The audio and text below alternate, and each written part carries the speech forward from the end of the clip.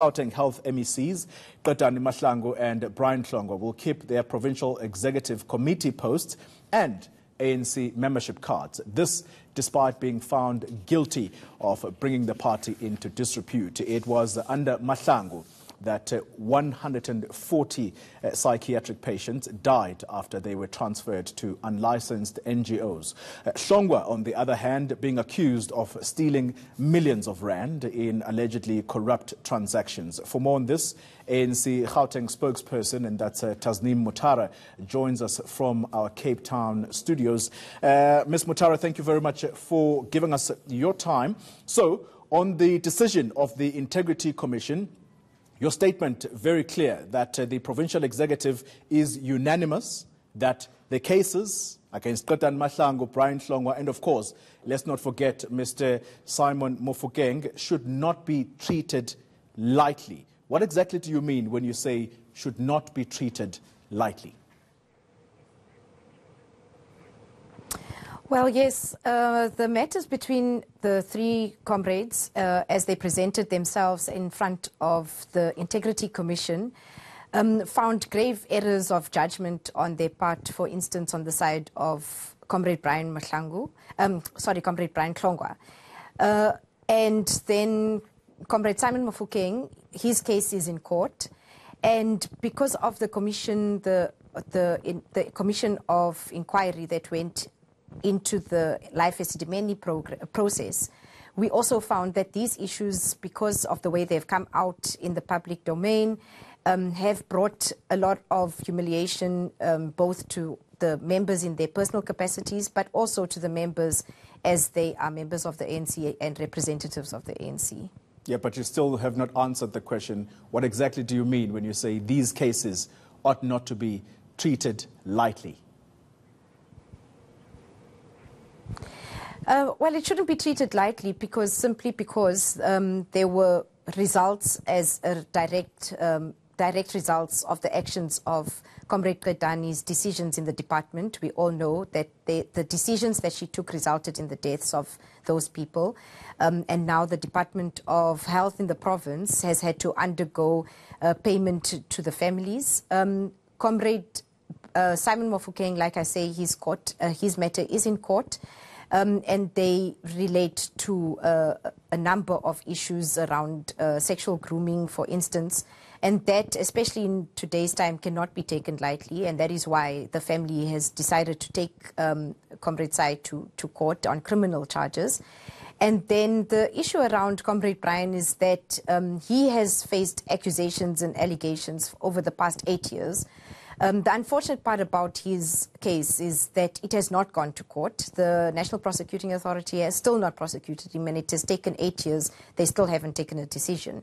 We, as the ANC, want the matter to be um, held in court and listened in court, and um, the outcome of the court will the court process, if it does get prosecuted, uh, will help us further um, in how we deal with this matter. And so you'll agree with me then uh, if I say to you, so the party did not take kindly to these actions because of the kind of uh, tainted image it brings to the party. Am I right?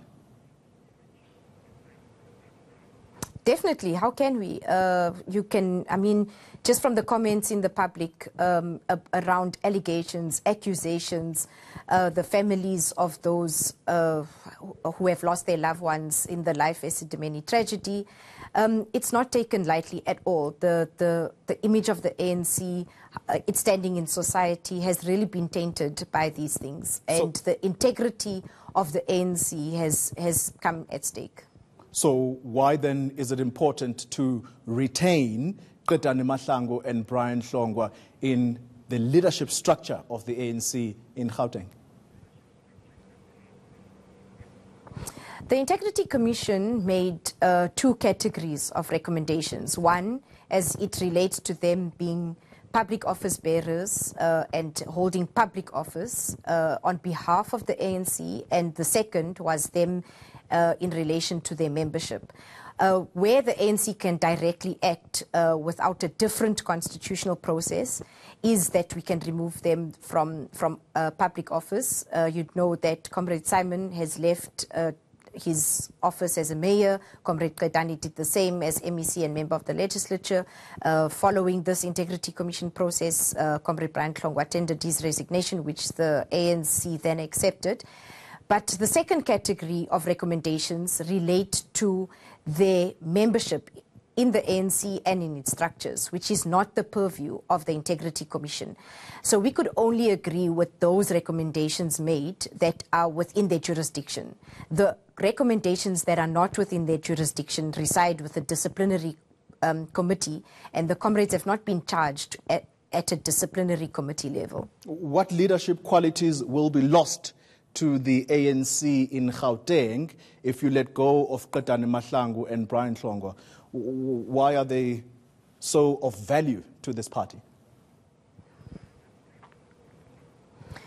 Well, um, the, first of all, I mean, they've both served the ANC for many, many years in different roles in the different structures of the ANC from the days of the, the Youth League right up until the Provincial Executive Committee where they serve now. Uh, Comrade Brian will soon be completing 40 years of service uh, as a member, unbroken service as a member of the ANC.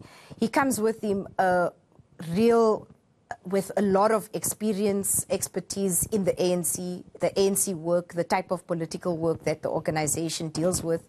Um, we refer to him and even to Comrade uh, Mahlangu as commissars of the ANC in terms of the the wealth of experience and knowledge they, they have the in the way the ANC runs internally their decisions, for instance, the decision of Comrade Qedani resulted in the unfortunate ev event that led to the deaths of those people.